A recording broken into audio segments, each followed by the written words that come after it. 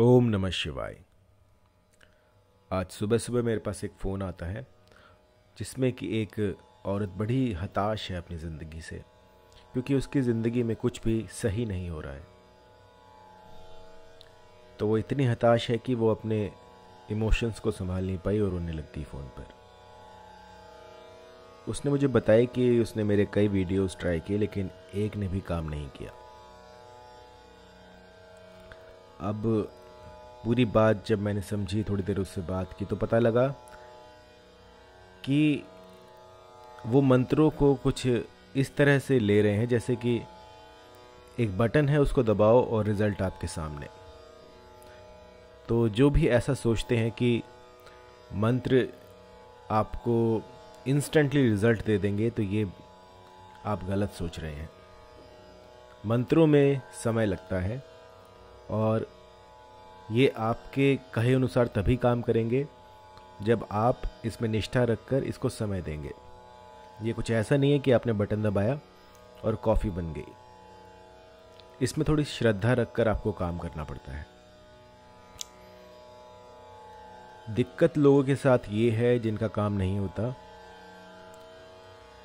कि वो मोबाइल की टेक्नोलॉजी पे रह रहे हैं, माइक्रोवेव यूज़ कर रहे हैं अब क्या होता है कि आप देखिए, एक सब्ज़ी अगर आप मिट्टी के बर्तन में बनाते हैं धीरे धीरे उसको पकाते हैं और एक दो घंटे में वो जब वो बनती है तो उसका स्वाद अलग होता है।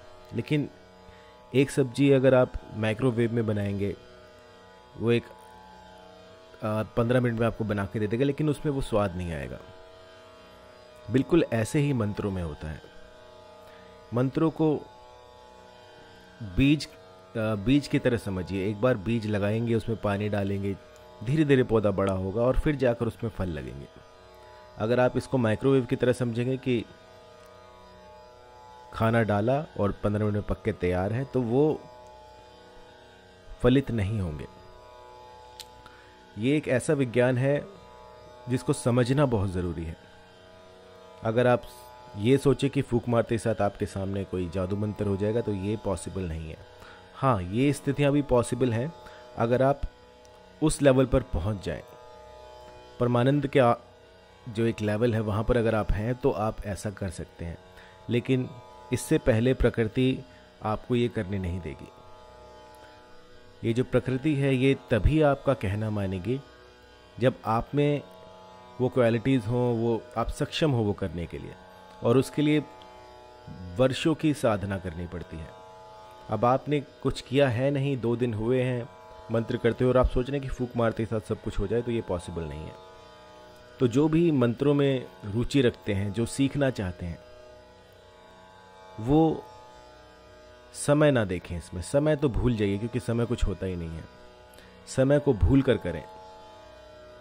आप जब बीज मंत्र करें, कोई भी मंत्र करें तो उसको बीज समझिएगा कि आपने एक बीज डाला है धरती में और वो धीरे धीरे जो है प्रफुल्लित होगा।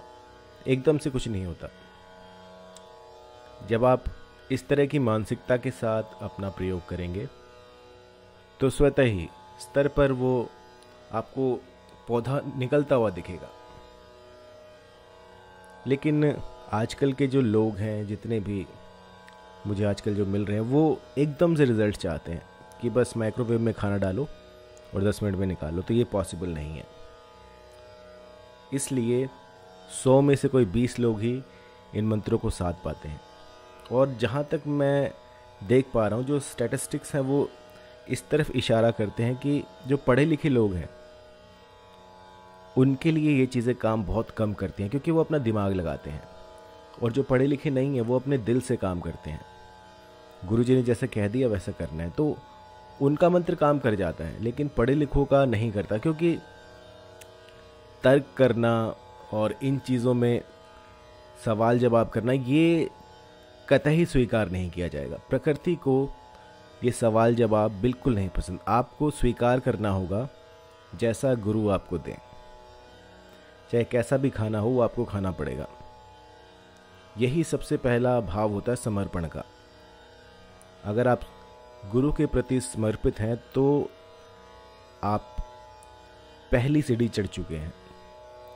अगर आपके भीतर कोई ईर्ष्या है, कोई द्वेष है, किसी भी तरह का कोई भी ऐसा भाव है जो कि गुरु के विपरीत है, जो गुरु कह रहा है उससे उलट है तो ये सारी चीज़ें आपके किसी काम नहीं आएँगी।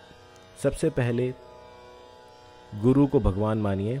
अगर वो कहता है कि दिन को रात तो दिन को रात ही मानिए। जैसा गुरु ने कह दिया, वही सर्वोपरि है।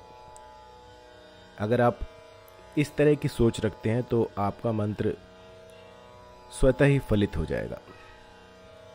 अन्यथा चाहे लाखों वर्ष लगा दीजिए तो भी आपका मंत्र काम नहीं करेगा। तो ये छोटी सी रिकॉर्डिंग है जो अभी कॉल आया था, उसमें रोती हुई जो महिला थी वो अपना दुखड़ा मुझे सुना रही थी। तो आप जो भी कष्ट में हो, उनके लिए मैंने ये वीडियो बनाया है, ताकि आप ध्यान रखें कि मंत्र किस तरह से काम करते हैं और आपको किस तरह से अपने मानसिक विचारों पर कंट्रोल करना है। आपके विचार भी इसमें देखे जाते हैं, आपके विचार क्या हैं आप क्या सोच रहे हैं, और किसी भी तरह की दिक्कत परेशानी आए तो आप मुझे कॉल कर सकते हैं triple nine two eight four सोलह पच्चीस पर। धन्यवाद। मैंने आपको सलाह भेजी थी खाली मैं क्या करूँ करके मैंने आपको व्हाट्सएप पे भी मैसेज आज आप रिप्लाई नहीं दे रहे मैं बहुत परेशान हो। क्या हो गया? मेरे आदमी मेरे ऊपर ध्यान नहीं देता अच्छा। तो बाहर का ज़्यादा लगा हुआ है। कहाँ से बोल रहे हो आप? मैं बम्बई से बात कर रही अच्छा कब से हो रही है? छह आठ साल से ठीक है मैं देखता हूँ व्हाट्सएप पे डिटेल भेजिए। कुछ तो बताइए मेरे को कुछ तो बताइए। डिटेल भेजिए मैं देखता हूँ। जान गवा दूँगी मैं कुछ की मैं बहुत बहुत मेंटली डिस्टर्ब हो रहा है। मेरे से नहीं हो रहा है।